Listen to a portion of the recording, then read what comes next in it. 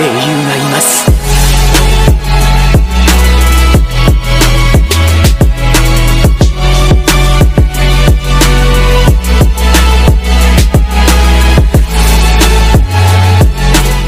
Yo minasan, seperti biasa kembali lagi bersama channel Sayonara Jiraya. Pada kesempatan kali ini, admin akan membahas tentang kisah tragis Kisame sebelum dan sesudah bergabung dengan organisasi Akatsuki. Jadi gak usah banyak basa-basi lagi dan mari langsung saja kita bahas bersama-sama tema hari ini let's go.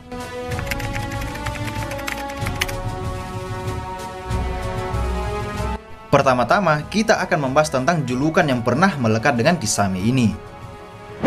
Biju tanpa ekor. Hmm, itulah julukan yang dimiliki oleh Kisame semasa serial Naruto kecil dan Naruto Shippuden berlangsung. Sebuah julukan yang menandakan bahwa dirinya setara dengan para biju. Persamaan dirinya dengan biju yang dimaksud adalah sebenarnya bukan soal kemampuan jutsu, melainkan jumlah cakranya yang sangat banyak adalah dasar persamaan tersebut. Namun, kita tidak tahu biju mana yang dimaksud itu karena admin merasa bahwa tidak mungkin bila biju tersebut adalah Kurama. Karena jika dia memiliki jumlah cakra seperti Kurama, maka sudah dapat dipastikan kalau Kisame ada kaitannya dengan Otsutsuki Hagoromo. Karena seperti yang kalian ketahui bahwa mereka yang memiliki jumlah cakra yang besar merupakan keturunan dari Hagoromo ataupun Asura Otsutsuki. Seperti halnya klan Senju ataupun klan Uzumaki, mereka adalah bagian dari keturunan Asura Otsutsuki. Admin terkadang berpikir bahwa mungkin saja Kisame memang merupakan keturunan langsung dari Asura Otsutsuki. Kita bisa berasumsi kalau Kisame ini sama seperti Orochimaru yang mana asal-usul mereka masih sangat misterius. Mungkin dari segi fisik dan warna kulit, Kisame maupun Orochimaru sudah sangat mirip dengan anggota dari klan Otsutsuki. Tapi bukan hanya warna kulitnya saja melainkan perubahan bentuk tubuh mereka menjadi binatang merupakan sesuatu yang tidak biasa. Jika kita mengatakan kalau mereka memiliki kaitan dengan Otsutsuki karena warna kulit yang sama, maka Sai juga termasuk bukan? Akan tetapi, dia tidak seistimewa Kisame dan Orochimaru yang masing-masing memiliki perubahan bentuk tubuh yang cukup unik. Masashi Kishimoto membuat karakter Kisame berdasarkan sebuah manusia hiu yang berasal dari makhluk mitologi Jepang. Karena seperti yang kita tahu kalau banyak karakter di seri Naruto dibuat berdasarkan legenda dari sebuah mitologi Jepang. Jadi seorang Kisame pun telah menjadi karakter yang penuh misteri bahkan masih sekedar julukannya saja ya kan?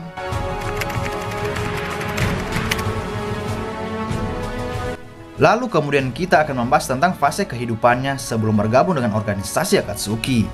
Kisame adalah ninja elit dari Kirigakure yang memiliki usia sama dengan seorang Hatake Kakashi. Semasa menjadi Jonin, Kisame merupakan bawahan dari Suikazan yaitu pendekar pedang generasi pertama dari desa Kirigakure. Dia pernah diberikan misi oleh Suikazan untuk mengawal beberapa rekannya yang ingin memberikan sebuah kode ke divisi rahasia desa Kirigakure. Suikazan menegaskan kalau kode tersebut lebih berharga daripada rekan yang sedang dia lindungi tersebut. Maka dengan itu, Kisame diperintahkan untuk menghabisi mereka semua jika kode terancam untuk diketahui dari pihak musuh. Dan ternyata perkiraan seorang Suikazan benar kalau mereka sedang dikejar oleh pasukan Konoha yang dipimpin oleh Ibiki. Seperti yang kalian ketahui bahwa Kisame adalah seorang monster alami yang hanya mengikuti sebuah perintah. Demi informasi tersebut tidak bocor kepada pihak Konoha, Kisame menghabisi semua rekannya tanpa tersisa lalu pergi melarikan diri. Nah, di beberapa tahun kemudian, ternyata Suikazan mengkhianati Kirigakure dengan membocorkan informasi rahasia tersebut kepada pihak musuh. Inilah yang menjadi alasan Kisame membunuh Suikazan dan mengambil pedang Samehada miliknya. Di momen tersebut muncul Yagura yang saat itu sebagai Mizukage keempat lalu memuji tindakan Kisame yang membunuh pengkhianat. Namun Yagura juga menyadari kalau dahulu Kisame telah menjalankan sebuah misi pengkhianatan. Kisame percaya kalau dunia yang sekarang dia jalani ini hanyalah sebuah kepalsuan semata dan dia tidak memiliki arah tujuan hidup.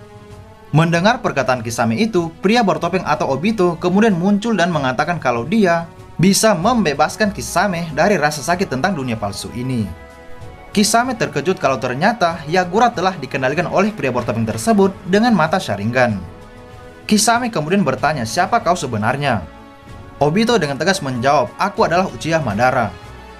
Kisame tidak percaya dengan perkataan Obito karena Kisame juga mengetahui kalau Madara sudah lama mati. Kisame lalu menyuruh pria bertopeng itu untuk menunjukkan siapa sebenarnya dirinya. Obito kemudian berkata, kau bisa mempercayaiku atau tidak, itu terserah dirimu. Nah, di situlah pertama kalinya Kisame melihat wajah dari seorang Madara asli yang sebenarnya hanyalah seorang Obito. Obito mengatakan bahwa dia sedang merencanakan sebuah proyek mata bulan, atau bisa dikatakan menciptakan sebuah dunia yang sebenarnya. Kisame yang percaya kalau dunia saat ini adalah sebuah kebohongan, lantas langsung berpikir kalau mungkin Sukuyomi adalah dunia yang asli. Dari sini kita bisa menyimpulkan kalau Kisame adalah anggota Akatsuki yang paling setia dan yakin dengan rencana mata bulan dari Madara dan Obito. Itulah mengapa dia tertarik untuk bergabung ke dalam Akatsuki lalu bermitra dengan seorang Uchiha Itachi. Dalam misi-misi Akatsuki, Kisame dan Itachi terlihat sangat cocok karena pada dasarnya, Itachi bukanlah penjahat yang sebenarnya seperti Kisame. Melainkan Itachi hanyalah berpura-pura jahat di hadapan anggota Akatsuki lainnya termasuk di hadapan Kisame. Sementara Kisame adalah seorang yang paling setia dalam organisasi Akatsuki tersebut dan tergila-gila untuk melihat seperti apa sih Mugen Tsukiyomi itu. Kisame juga telah sering kali berhadapan dengan ninja-ninja hebat ketika menjadi anggota Akatsuki. Seperti pada kisah Naruto kecil, Kisame pernah ingin mencabik-cabik seorang Kakashi dan Asuma jika seandainya Itachi tidak melarangnya. Yang admin sukai dari Kisame ini adalah bahwa dia merupakan orang yang tahu sopan santun. Dia juga ninja yang benar-benar mengikuti perintah dari rekannya dan sama sekali tidak menentang perintah itu. Inilah pelajaran berharga yang Kisame berikan kepada kita bahwa kalian harus menghormati orang lain meskipun orang itu lebih muda dari kalian. Bahkan Kisame memanggil nama Itachi dengan sebutan Itachi-san yang berarti dia sangat menghormati seorang Itachi. Padahal sebenarnya Kisame jauh lebih tua dibandingkan dengan usia Itachi saat itu.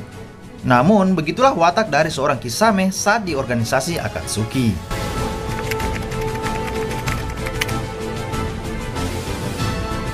Dan jika berbicara tentang kemampuan untuk bertarung, dia juga tidak bisa diremehkan. Ketika momen Itachi telah mati, Kisame berhadapan dengan Jinchuriki dari Kumo yakni Killer Bee. Pertarungan mereka berdua membuat kita terkejut kalau Kisame bisa mengalahkan Bi walaupun telah berubah bentuk menjadi Hachibi. Namun ketika dia diberikan misi oleh Obito untuk mencari informasi dari pihak aliansi Shinobi, dia diketahui oleh Naruto, yang di mana di sinilah yang kemudian menjadi pertarungan serius antara Kisame melawan Maitogai. Seperti yang kalian ketahui, Kisame berhasil dikalahkan oleh Gai yang saat itu membuka gerbang ketujuh dan melepaskan aura biru yang disebut Hirodora. Lalu mendekati akhir hayatnya pun, Kisame masih tetap setia dengan rencana mata bulan dari Obito. Dia lebih memilih mati bunuh diri daripada rahasia Katsuki diketahui oleh pihak musuh.